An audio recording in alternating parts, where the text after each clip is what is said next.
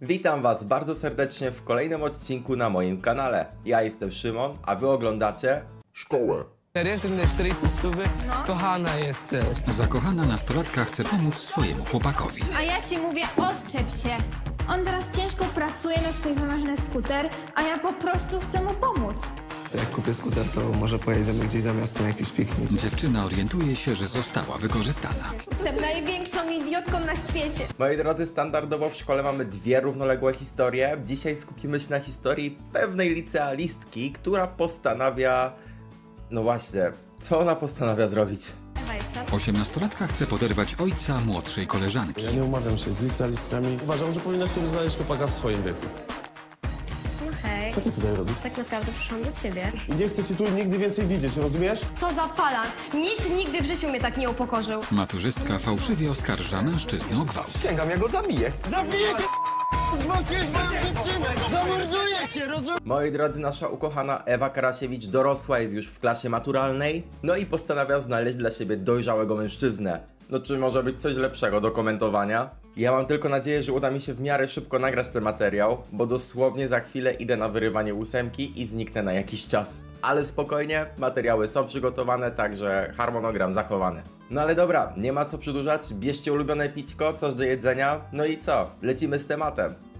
Ewa Karasiewicz z licealnej trzeciej A od jakiegoś czasu spotyka się z Grześkiem Chojnowskim z równoległej klasy.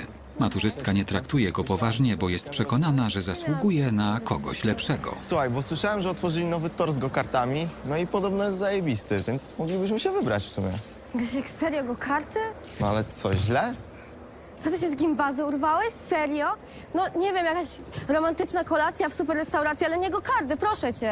E, Halo, halo, ale co jest wzogo w takiej aktywności? Jesteście w klasie maturalnej, ale to nie znaczy, że już musicie chodzić do teatru i do innych takich rzeczy. Ja mam na przykład 27 lat i bardzo lubię w Luna Parkach te wszystkie samochodziki elektryczne. To jest dla mnie najlepsza atrakcja.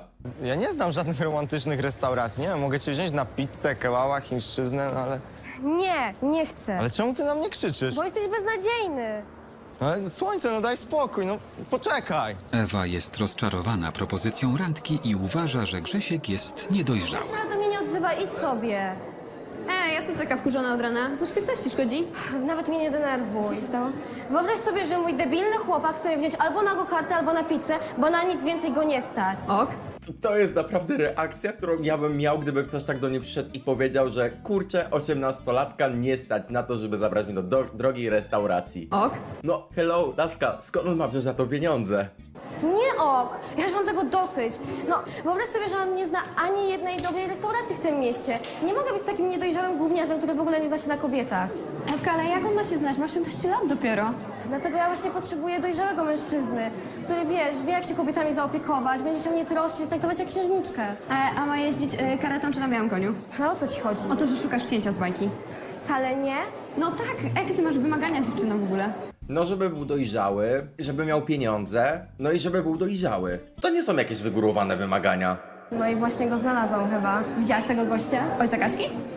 Ej, gdzie ty lecisz? Obczaić mojego księcia z bajki. Osiemnastolatce wpada w oko ojciec młodszej uczennicy. Dziewczyna od razu sprawdza w internecie, czy mężczyzna jest wolny. Tak, tak, myślę, że wszystko będę miał w hurtowni.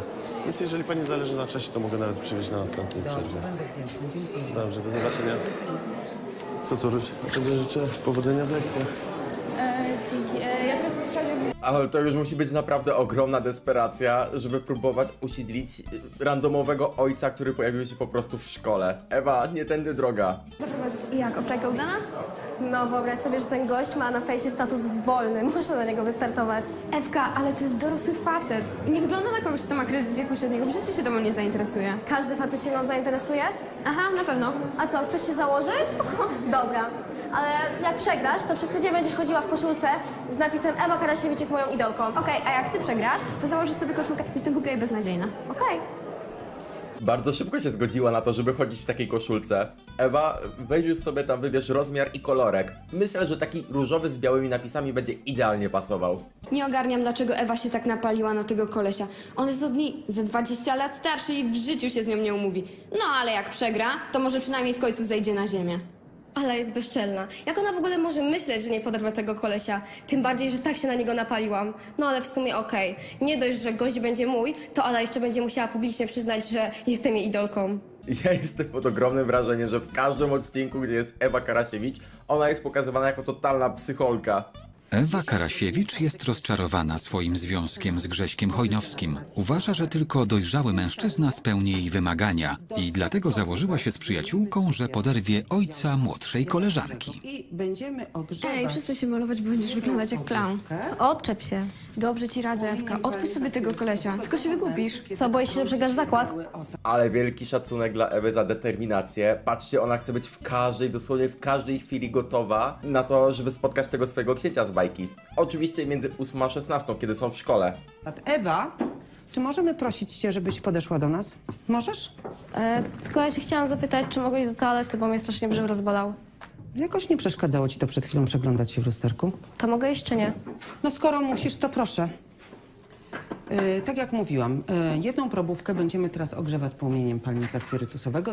Maturzystka podsłuchała, że mężczyzna, który jej się spodobał, ma przyjść do szkoły na przerwie. Zamierza na niego poczekać przy wejściu. Ja bym nie pozwolił chyba jej wyjść. W sensie, może inaczej. Pozwoliłbym jej wyjść w eskorcie innego ucznia, którego ona nie lubi, prosto do higienistki. No skoro boli ją brzuch, no to niech weźmie krople. A wszyscy wiemy, że higienistka krople żołądkowe daje na wszystko. Przepraszam za tego kardy i za tą pizzę. To masz rację, to było głupie trochę. No i co, chcesz mnie tym ściskiem papieru przekupić? Nie no proszę, tylko mi ją w życiu się nie podoba. Dziewczyno, ślęczałem nad tym godzinę. Niepotrzebnie. Czyli co, nie, nie pogodzimy się. Na pewno nie teraz. Proszę cię, idź już, potem cię znajdę.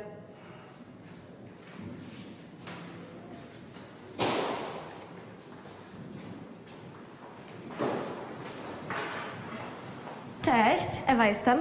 No, Dzień dobry. Jezus, to jest takie cringe'owe. Ja mam nadzieję, że ten chłopak Ewy po prostu szybko się opamięta i ją zostawi. Chłopie, odpuść sobie, ta półka jest zdecydowanie za nisko. E, Nie przedstawisz się? Tomasz Piechowiak. Mm, To więc Tomaszu, powiedz mi, co dzisiaj wieczorem robisz? To jakiś żart? A dlaczego? No, rozumiem, że chodzisz tutaj do szkoły, tak? No tak, jestem w naturalnej klasie. No to słuchaj, Ewo, e, nie wiem o co tobie chodzi, ale ja nie umawiam się z licealistkami, a jeśli to jakiś żart, to naprawdę mnie nie śmieszy. Ale to na pewno nie jest żart. Przecież jestem pełnoletnia, bardzo dojrzała już. No właśnie widzę, że tak myślisz, ale uważam, że powinnaś sobie znaleźć chłopaka w swoim wieku. O nie, oczu wydrapanie. Ja po nagrywaniu tego odcinka będę musiał się iść wyspowiadać, a w spowiedzi nie byłem już bardzo dawno. Och, widzę, Ewo, że już się dobrze czujesz, tak? E, tak, przyszło mi. W takim razie naucz się, bo będę pytać na następnej lekcji. Ja mam tutaj dla pani te odczynniki. O, świetnie, to może zaniesiemy je do pracowni od razu, dobrze? Dobrze, proszę. Nie no, zaraz się wścieknę. Facet mnie olał. A najgorsze jest to, że jeszcze przegram zakład z Alą. Ale nie ma mowy. Nie dam jej tej satysfakcji. Ale czego ona się spodziewała? Że dorosły, randomowy facet, z którą nie wiąże ją totalnie żadna historia, tak po prostu ochoczo rzuci się w jej ramiona i to jeszcze w szkole. Ewa nie zamierza przyznać się przyjaciółce, że nie udało jej się poderwać ojca młodszej koleżanki. Dziewczyna kłamie, bo nie chce przegrać zakładu. Tak, dokładnie. Przegrałaś, więc zamawiaj koszulkę. Że co? Jak to co? Normalnie umówiłam się z ojcem Kaśki Pichowiak i tak się właśnie składa, że przegrałaś zakład, dlatego teraz będziesz chodzić przez tydzień w koszulce. Ewa Karasiewicz jest moją idolką. Nie ma takiej opcji. Ale dlaczego? Przecież się zakładałyśmy. Poczekaj, zaraz ci znajdę jakąś moją fajną fotkę. O Jezus, ona nie daje za wygraną. Ona naprawdę nie może przegrać tego zakładu. I ja się boję pomyśleć, do czego ona doprowadzi, żeby ten zakład wygrać. Ale ja ci nie wierzę, że koleś umówił się z tobą na randkę. Nie na randkę, tylko na randkę u niego w domu. Wiesz, co to znaczy? Bzykanką. No i co, taka zdziwiona jesteś? Tak, bo ci nie wierzę, chcę jakichś dowodów. Jakiego dowodu nie ma? No nie wiem, zdjęcia na przykład z nim albo coś. Co, może mam ci jeszcze wysłać filmik, jak się kochamy? Wiesz co, może być filmik, ale zdjęcia mi w zupełności wystarczają. Beznadziejna jesteś. Wiedziałam, kłamiesz. Nie kłamie, ale jeżeli chcesz, to okej. Dostaniesz te zdjęcia. Okej. Szczerze mówiąc, tej jej przyjaciółce nic bym nie wysłał. Nawet zdjęcia ze szczytu, bo bałem się, że roześlę go do całej szkoły. Ale w sumie FC Karasiewicz też nie, więc eh, chyba pasują do siebie. Ale z tej Ali jędza. Jak ona w ogóle może myśleć, że ja kłamię? Muszę coś wykombinować, żeby chodziła w tym durnym podkoszulku. Dostarczę jej dowodów, że poderwałam tego kolesia, choćby nie wiem co. Maturzystka jest wściekła, że Ala nie uwierzyła w jej kłamstwo. Zastanawia się, co zrobić, żeby dostać się do mieszkania mężczyzny i go uwieść. Postanawia wykorzystać do tego jego córkę, Kasię Piechowiak. O, to może ją pobije. Albo nie, albo nie. Okradnie ją z kluczy i pod osłoną nocy się wkradnie do jej domu i zrobi sobie zdjęcia. Hej, w sumie to jak chcesz, to mogę ci pomóc z tą prezentacją. Ewa jestem. Wiem, kim jesteś, ale dlaczego chcesz mi pomagać? No wiesz, kiedyś byłam w podobnej sytuacji. Poza tym przyda mi się taka powtórka z biologii przed maturą. Wydaje mi się, że mam kilka starych prezentacji, może którąś uda się przerobić. To co ty na to? No okej, spoko. To mogę wpaść do ciebie po południu, ale fajnie by było, gdyby ktoś mnie odwiózł potem do domu. Um, mój ojciec będzie, więc mógłby ci zawieźć. Tak? Super, okej. Zgadamy się na fejsie. No Cześć. hej. Okej, ta jego córka chyba też nie błyszczy inteligencją. W życiu bym się nie zgodził, jakby jakaś obca laska, którą znam z tego, że jest manipulatorką, zaproponowała mi, że przyjdzie mi na chatę pomóc z prezentacją. Ale w sumie czego ja się spodziewam po tym uniwersum? I na pewno jej ojciec będzie przeszczęśliwy, że będzie mógł Ewkę odwieźć. I co to było? Nie wiem, ale ona jest strasznie fałszywa, ja bym jej tak nie ufała. Ale chyba to miło z jej strony, że chce mi pomóc. Ta młoda szybko łyknęła ściemę o pomocy. Szkoda tylko, że jej tatuś nie zareagował na mnie w równie otwarty sposób. Ale spoko, zmieni zdanie, jak zobaczy mnie w swoim łóżku. Co? Ale to zaraz, to jak ona chce to zrobić, skoro tam będzie z tą córką tego faceta? ja muszę to zobaczyć. Nie chcę, ale muszę.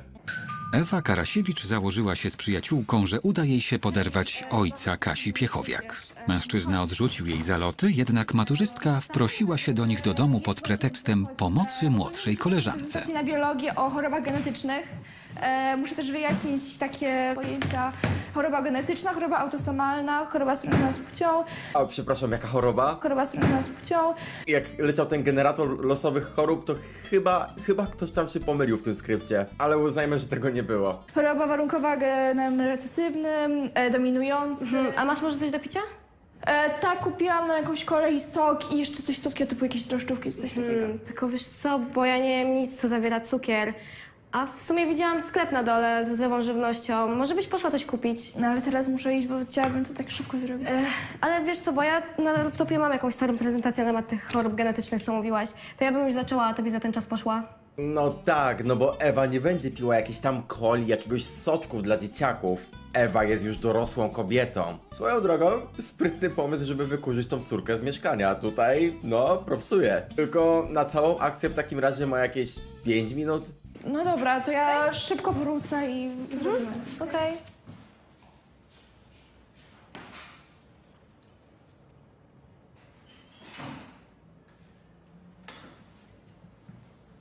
Osiemnastolatka jest zadowolona, że udało jej się pozbyć Kasi z mieszkania. Chce jak najszybciej uwieść jej ojca i zdobyć dowód dla swojej przyjaciółki, by wygrać zakład. Jest przekonana, że mężczyzna się jej nie oprze.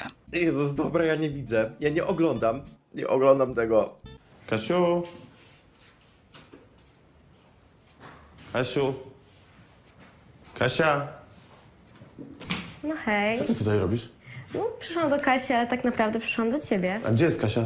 Wysłałam ją do sklepu, jesteśmy sami. W sumie to fajnie byłoby, gdybyś dołączył do mnie Załóż tutaj. coś na siebie, proszę cię.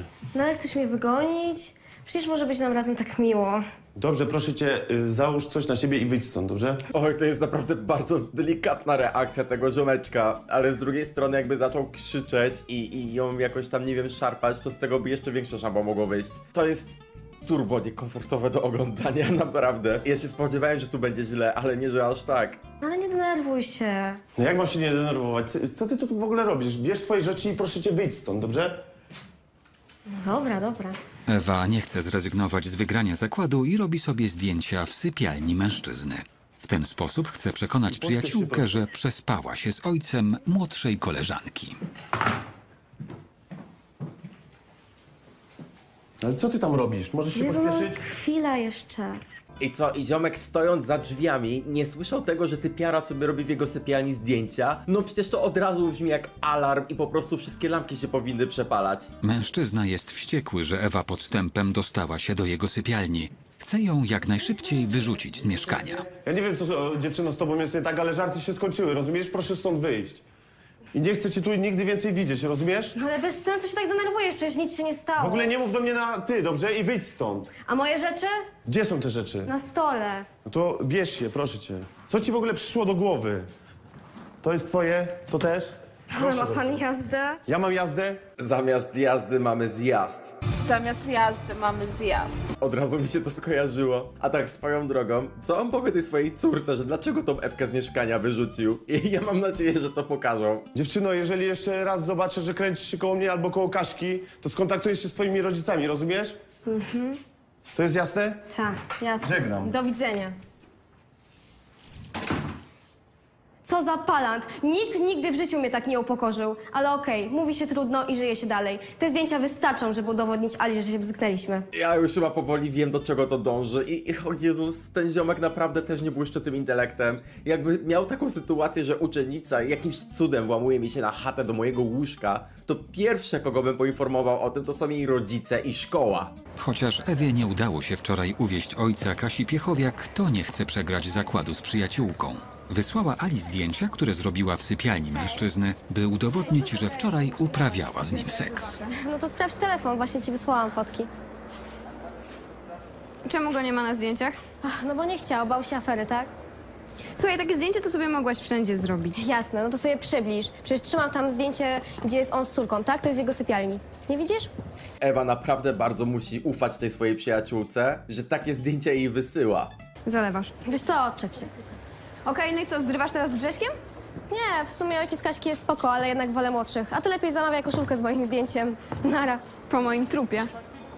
No nie mogę. Mina Ali była bezcenna. Nie wiem, czy chciała się rozpłakać, czy zemdleć.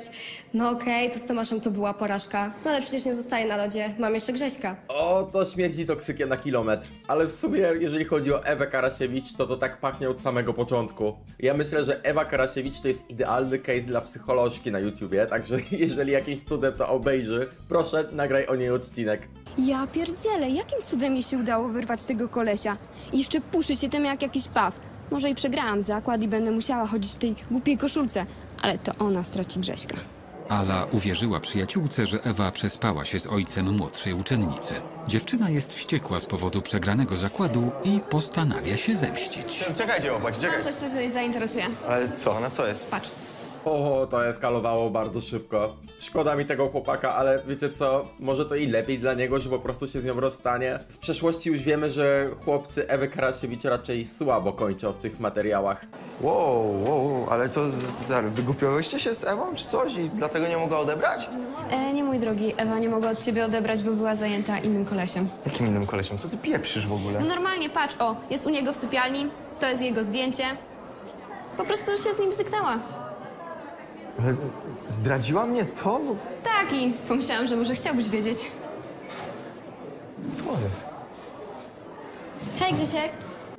Nie, naprawdę w tej szkole jest jeden korytarz. To jest niemożliwe, że tak szybko oni się nagle wszyscy spotykają. Totalne przypadki w każdym odcinku.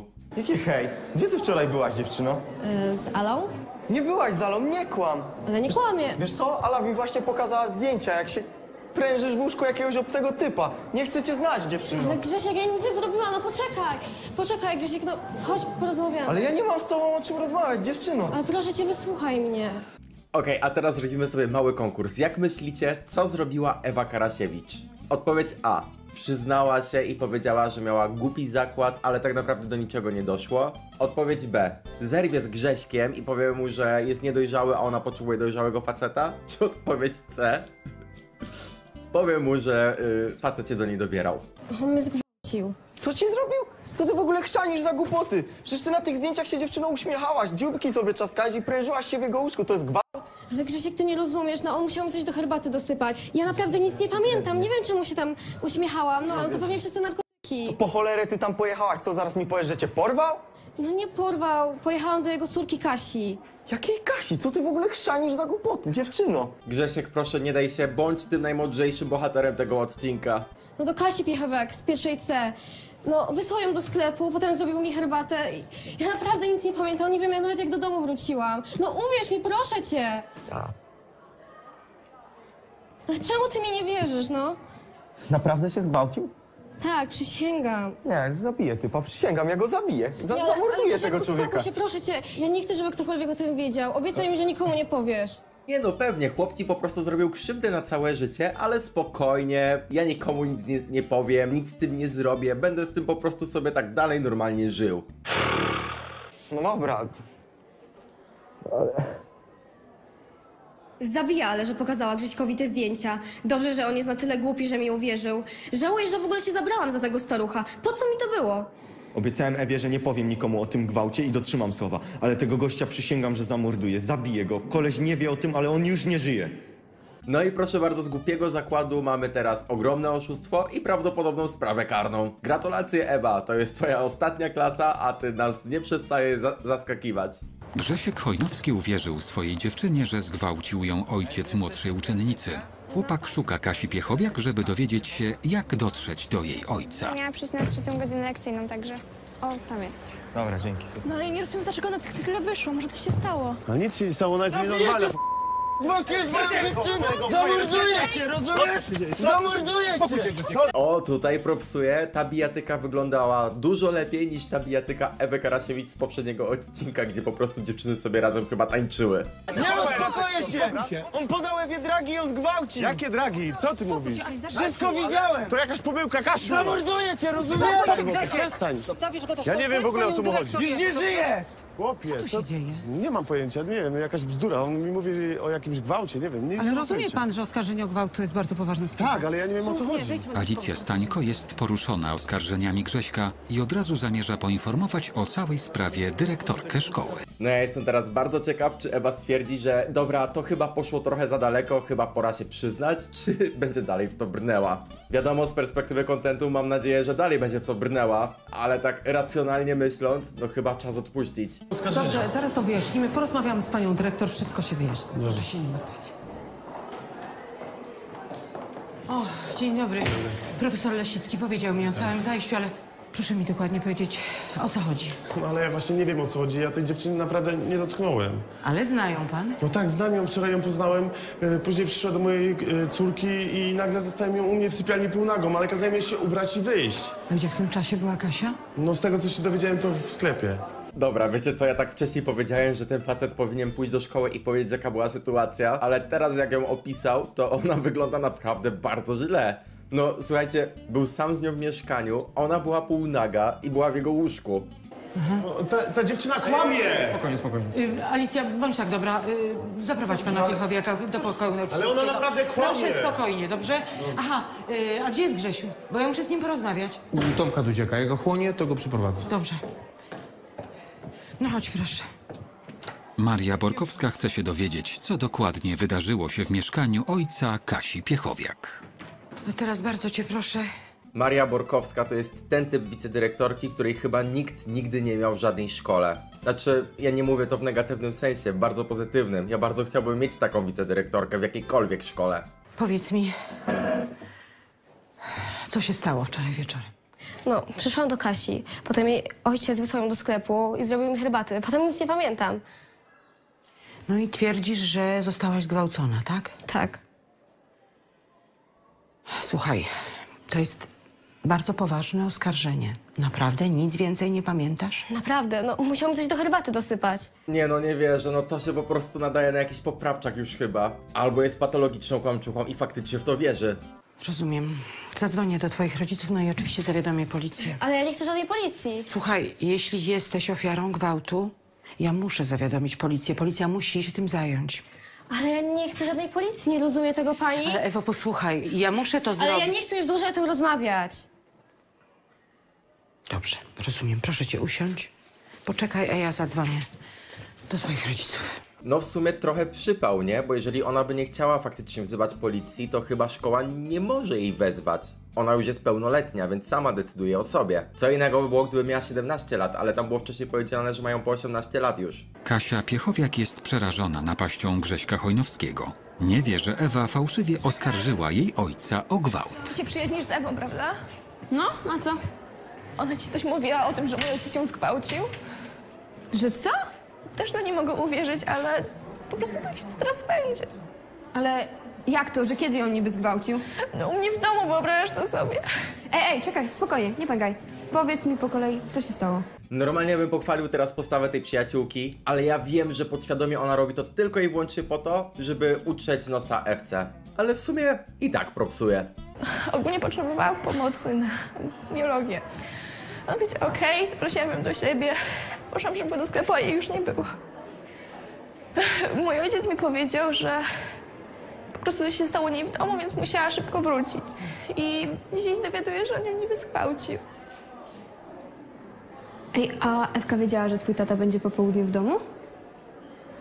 Pytała się mnie o to, jak się umawiałyśmy, więc... No, no, słuchajcie, tu chyba tym intelektem zabłyszczy ta przyjaciółka Ewy. Ostatnia osoba, o której bym pomyślał, że to zrobi, a tu proszę bardzo, takie miłe zaskoczenie.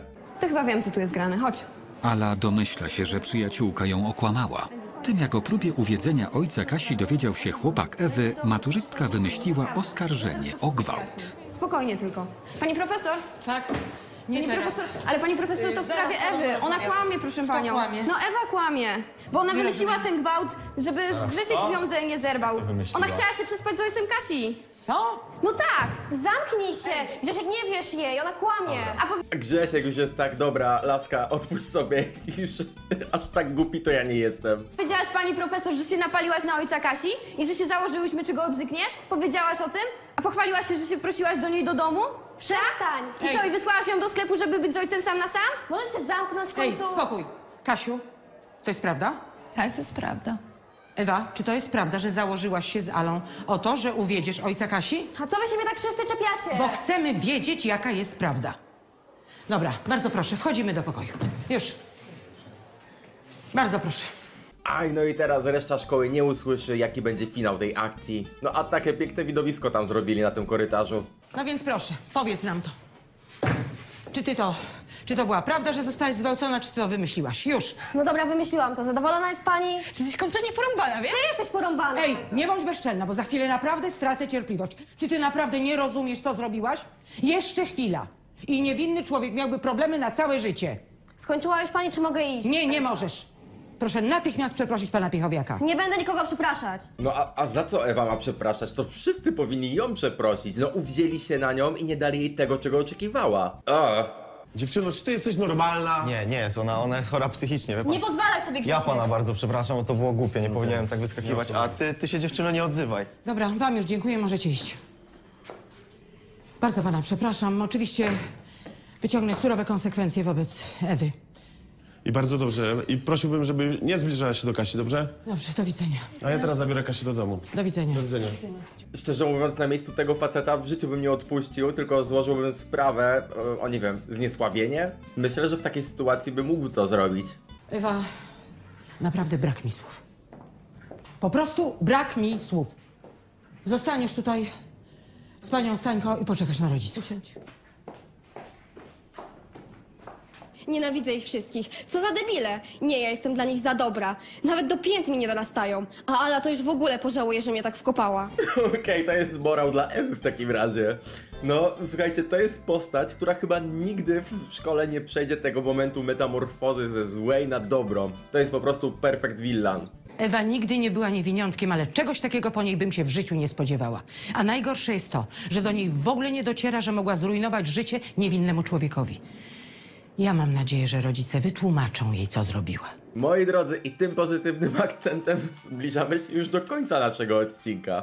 Chociaż czy to jest pozytywne, to bym polemizował. W każdym razie wydaje mi się, że chyba przerobiliśmy już prawie wszystkie odcinki z Ewą Karasiewicz. Jeżeli któryś przegapiliśmy, dajcie znać w komentarzu. No i jeżeli mielibyście jakikolwiek inny odcinek szkoły, albo może nawet szpitala, bo nie wiem czy wiecie, ale nagrywane są chyba w tym samym miejscu, to dajcie mi znać w komentarzu, bardzo chętnie taki odcinek zrobimy. A tymczasem ja się z wami już muszę żegnać, bo lecę do dentysty na wyrywanie ósemki. Ja naprawdę mam nadzieję, że dobrze to przeżyję. Także, moi drodzy, wielkie dzięki za oglądanie, podziękowania dla naszych patronów. No i co? Pamiętajcie, że co złego to nie ja. Widzimy się już niedługo. Trzymajcie się i cześć!